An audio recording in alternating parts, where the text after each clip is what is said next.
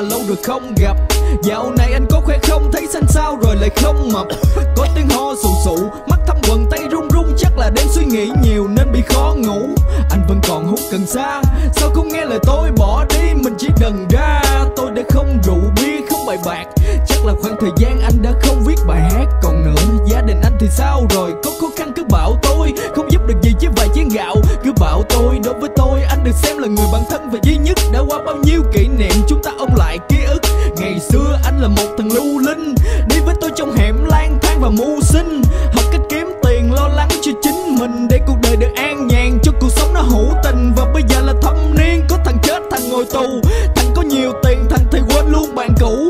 Thằng đang làm công và nó không có quyền. Thằng thì mang chứng bệnh ung thư, nó tái diễn. Và sau khi nếu cuộc đời của tụi mình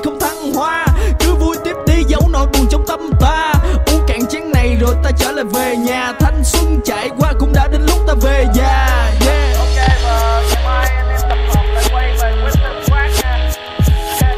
Nhiều khi đó tôi cũng muốn nói với ông nhiều thứ.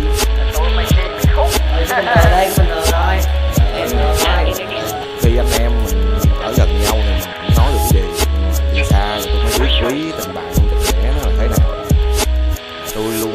Cũng có lúc tôi thấy mệt mỏi Viết vài dòng chữ cuộc đời càng lớn tôi càng cảm thấy Mất đi vài thằng là thằng bạn, thằng tốt Thằng anh và thằng em. Vì điều gì đó ở trong cuộc sống khiến tôi phải mất dần tri kỷ.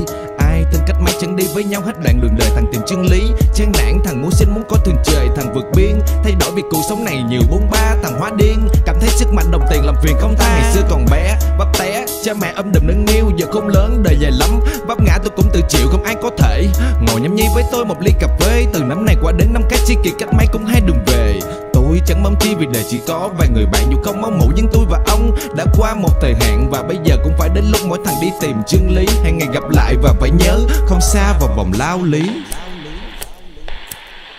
Đời còn lắm nhưng mau tối đi qua đường đời. Nên thôi ta cần lắng nghe con tim con bay từ trời. Ta không chung hơi thở, do nhân duyên nên ta gặp người.